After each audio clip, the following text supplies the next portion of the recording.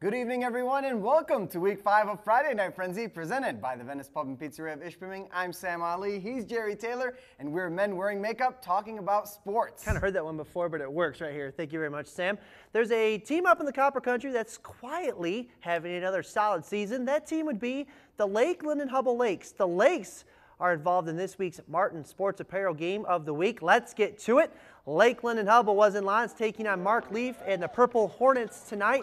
Second quarter, the Lakes leading 24-14, and they add to it here. Blake Dupy on third and goal rumbles his way in for six, extending the LLH lead to 16.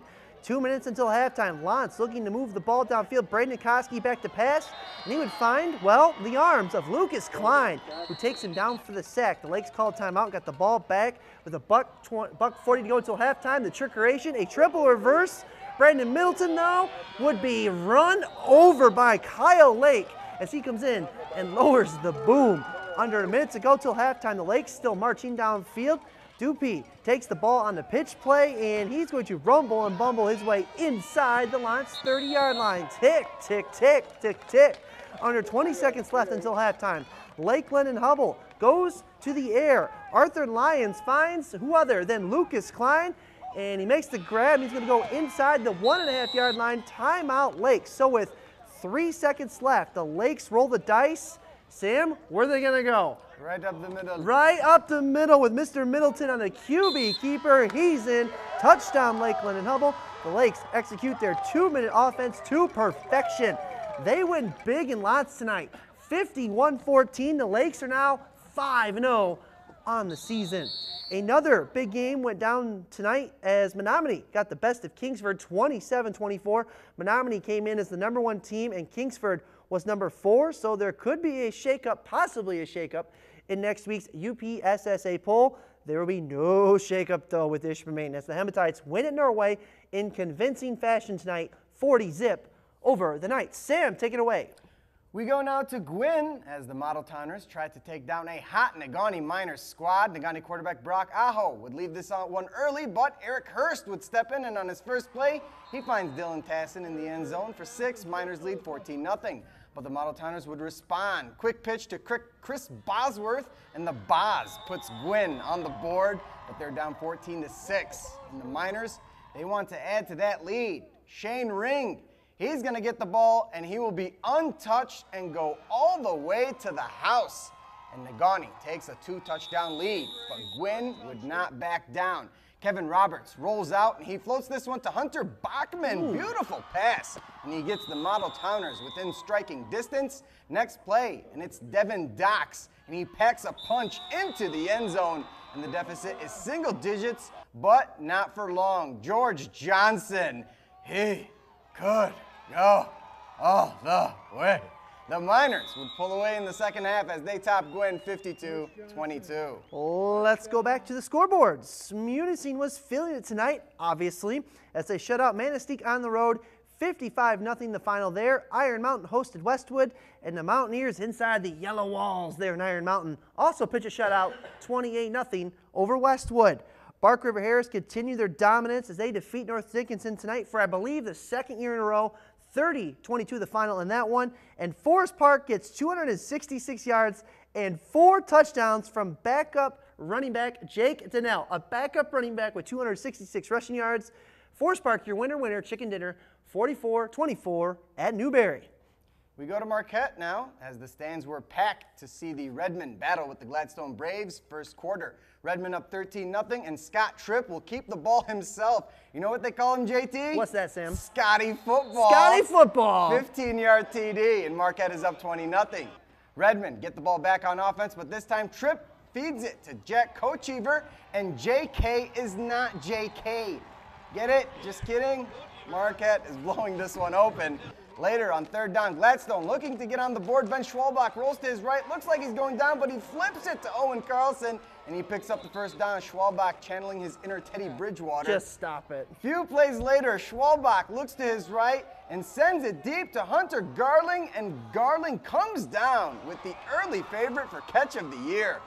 Garling just snatched that one down and takes it in for six, but the Redmen offense was in full throttle mode tonight.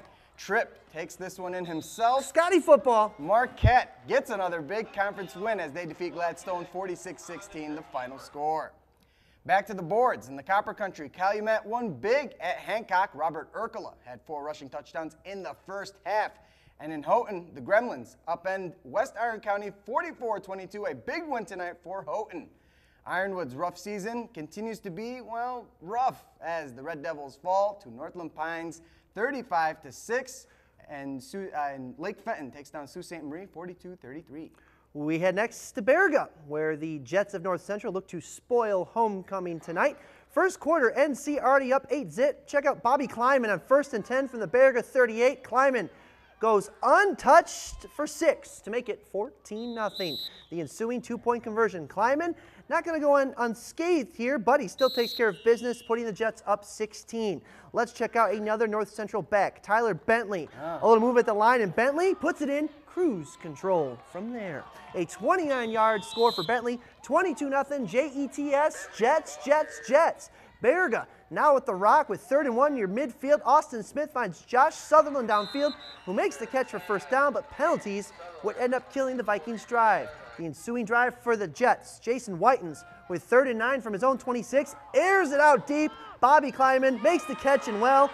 We're all just living in Bobby's world. I hope you catch that 90s reference. Oh, absolutely. Kleiman 74 yards to the promised land. North Central puts up another basketball score. They're good at that too, last time I checked. Like 66 points tonight in their big win against the Vikings. To the eight-man scoreboards as Trout Creek needed overtime to get the job done against Ontonagon 12 to 6.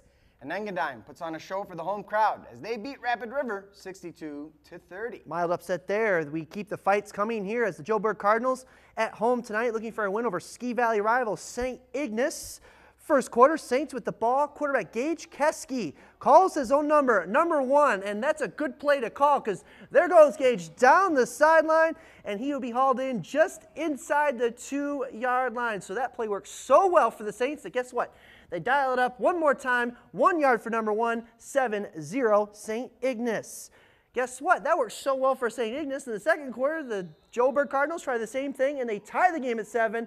Joburg actually had a lead going into the fourth quarter tonight, but St. Ignace scores with just a few seconds to go, and the St. Ignace Saints, they get a big win tonight on the road, 27 21 over Joburg Lewiston. To college volleyball, and the Michigan Tech Lady Huskies lose their first home game of the season as they fall to Ashland 3 0. Jacqueline Aird had a game high 18 digs, and Lauren Emmert collected eight kills. The Huskies are 10 2 on the year.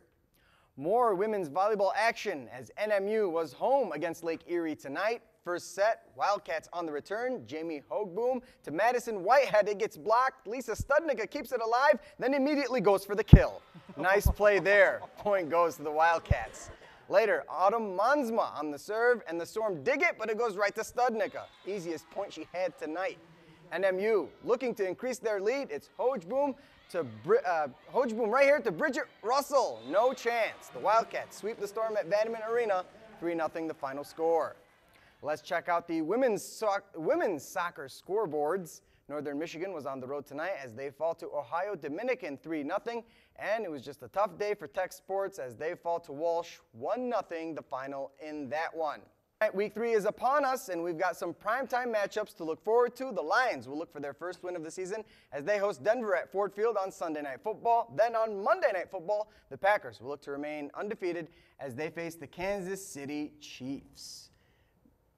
First time in a first time ever Detroit has hosted a Sunday night football game. Might be the last time ever because it's going to be ugly Sunday. It's going to be really bad. For mm-hmm. now, I guess I'm going to have to take Detroit to go 0 3 and the Packers to go 3 0. Yeah, absolutely. And uh, tomorrow night, uh, big football game up in Houghton, right? We will be there, mm-hmm. and uh, hopefully, like I said, if it's it's competitive like last year, that's the that's the kind of games you like being to, and there's going to be a huge turnout from both sides. Oh yeah, uh, two and one from Northern, Tex 3 0, like you said, and uh, I get to go up tomorrow night, drive and uh, let you do the work, and I'll just uh, kick back and uh, watch a very good contest. I don't mind. It's what I like. All right. Uh, I think we did pretty well tonight. I think so. All right. Alrighty. Let's well, go to the weekend. He's Jerry Taylor. I'm Sam Ali. Thanks for joining us for Friday Night Frenzy. Jimmy Kimmel is next. Have yourself a great week. See you later.